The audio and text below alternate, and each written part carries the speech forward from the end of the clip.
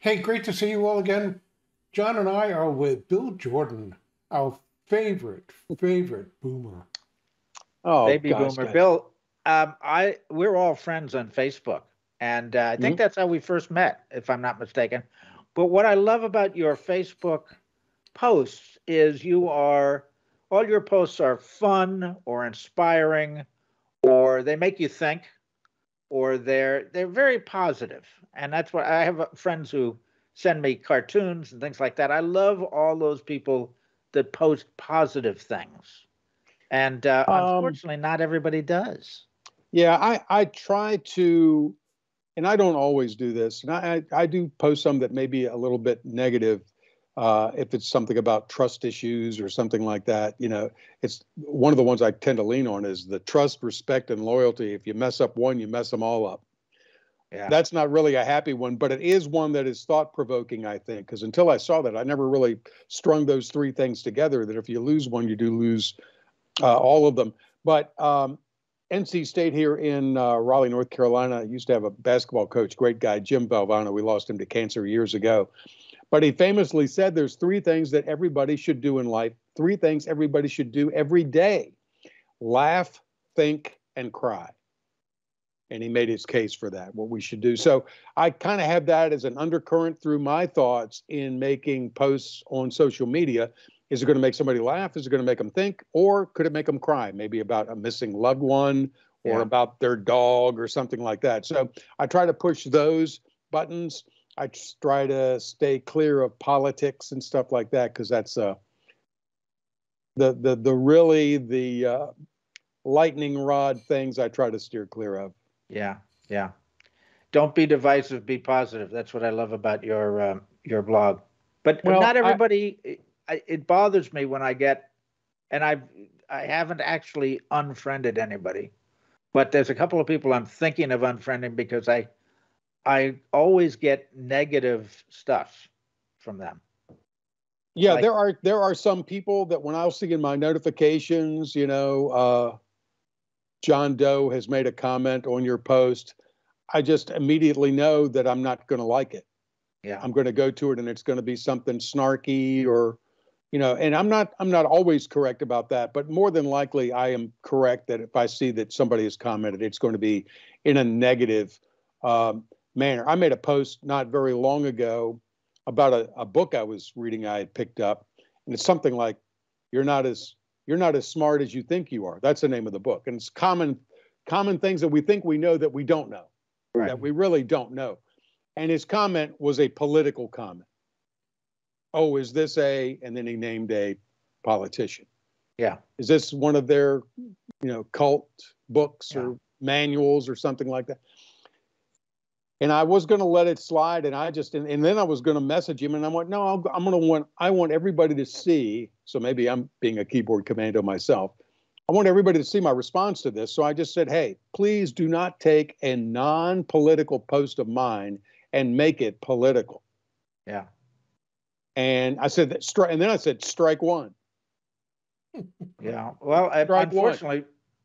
Unfortunately, unfortunately, politics is the most common negative that I run across on the uh, on the have internet. you have you ever have you ever read a post from an opposing view of pol- politics or religion or whatever the lightning lightning rod issue is that made you stop and change your mind Now, also, uh, just as a, a as a uh, a side note, especially for boomers like us, is that I remember Facebook was sort of like the first uh, social media that was generally picked up by people who were older, not younger. I suspect a lot of it was to follow their kids and their grandkids uh, on that. And uh, I sort of, I remember at the very beginning, anybody wanted to be a friend, I'd accept as a friend. But along the way, I found out there are some people who actually never respond uh, to anything I put up there, and that's okay. Uh, I'm not for everybody, uh, but uh, I, I have a habit of always saying happy birthday when it publishes the birthday date. And there are some that have just never responded, or some that block you from actually answering a, a comment or sending them other than a, a private message. So I've begun to call those off. But I think that maybe another conversation we should have someday is uh, uh, other uh, social media things other than this and LinkedIn, which uh, people can comment on quite a bit and uh, probably are guilty of doing the kind of things you're talking about. Uh, because the distance, it's not right in front of you, so it's not in your face. They feel some kind of safety from that distance. It's like emails. Yeah they can send you something, but they don't have that interaction with you. So they might even say things that they would never say, as you say, to your face. Uh, right. Uh, and uh, uh, on the other hand, it helped you understand maybe how they really feel. So it's in a great way. It it it, it uh, gets some. of. but I think that maybe it'd be worth our as boomers to talk about the new social medias that I'm not involved in I know my wife is on uh, Instagram a lot because I think that's where the grandkids go, and that's what they're using, or TikTok or things like that. So I wonder whether or not uh, those are different in that. I don't. Can you comment on those? Uh, do you get yeah? I'm on Instagram. I don't. I don't. I don't mess with TikTok at uh-huh. all unless somebody forwards me a funny video that links me to TikTok. But I don't have an account or anything there. Instagram. I, I do enjoy Instagram. I follow a lot of great people on Instagram, and I do enjoy the interaction uh, there. Something to remember too, um, just to streamline your life and to, to make it, you know, as smooth flowing as you can. It is possible to be friends with someone, but not be friends with them on social media. There are people, some of them know who they are, that mm. I like them better in person. Yeah than on social media. It's like they are somebody else on social media.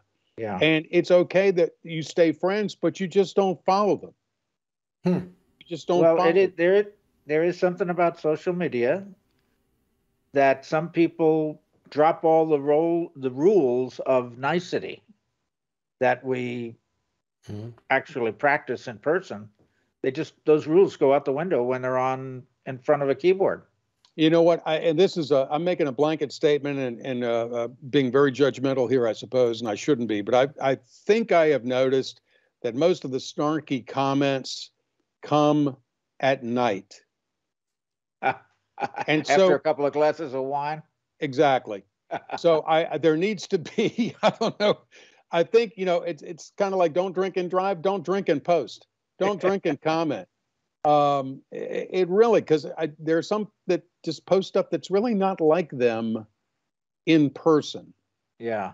And I'm all about being in person. Again, we've talked about this, you know, during COVID, and we couldn't go out of our houses forever.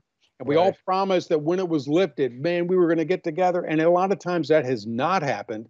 So I am once again in 2024, as I did in 2023, being very diligent about if I can once a week meet a friend for coffee or lunch or something like that in person, face to face, and interact with them, man, that is just so much better than, hey, did you see my post about we went to France? No, I really didn't. You know, I've got, believe it or not, like a thousand friends on Facebook. I can't keep up with everybody.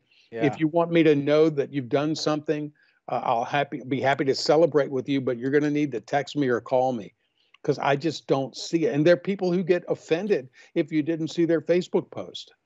I yeah. I, I, can't I, I can't do it. If I, you know what I, I I did post one the other day. If you if you find that your stress level drops when you put your phone down, that's telling you something.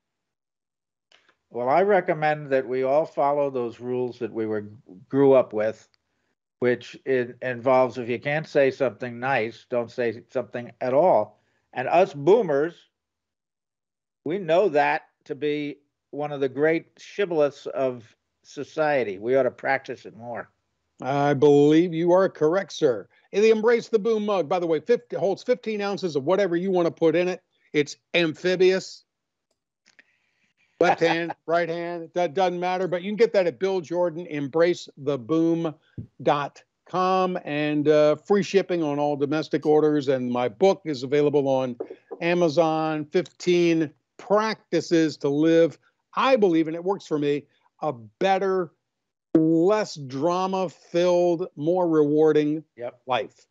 So, There you go. And I appreciate you guys having me back on again. Live your life, forget your age, and embrace the boom. Embrace Here- the boom. Amen, Here, brother. here. For more on Celebrating Act Two, visit our webpage, follow us on Facebook, subscribe to us on YouTube, and tell your friends. Celebrating Act Two is the user manual for the second half of your life.